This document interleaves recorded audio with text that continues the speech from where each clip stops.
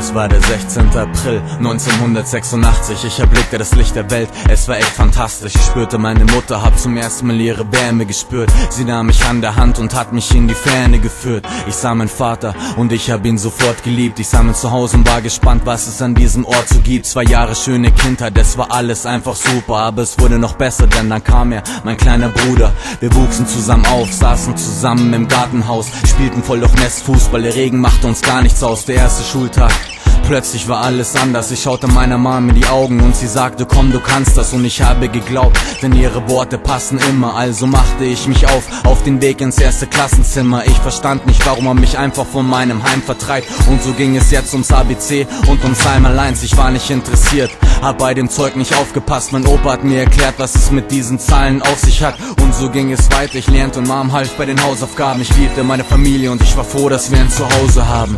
Du hast nur eine Familie, also pass auf sie auf. Und egal was auch passiert, glaub mir, du kannst ihm vertrauen. Das Leben tut oft weh, doch auch wenn alles scheiße ist, bleib entspannt und denk dran, dass du nicht alleine bist.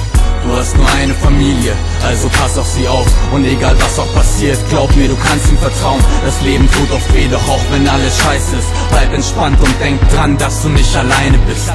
Ich war sieben, da haben sich meine Eltern geschieden. Ich hab's nicht verstanden, doch meine Mom hatte endlich in Frieden. Ich wusste damals nicht, dass mein Vater krank war. Ich hasste ihren neuen Mann, doch heute bin ich ihm dankbar, er hat viel durchgemacht mit mir.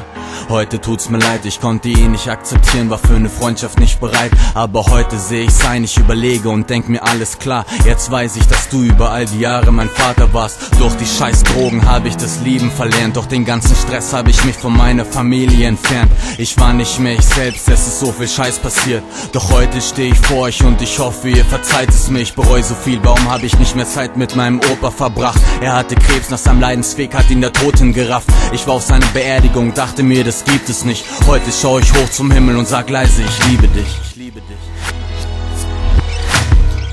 Du hast nur eine Familie, also pass auf sie auf. Und egal was auch passiert, glaub mir, du kannst ihm vertrauen. Das Leben tut oft weh, doch auch wenn alles scheiße ist, bleib entspannt und denk dran, dass du nicht alleine bist.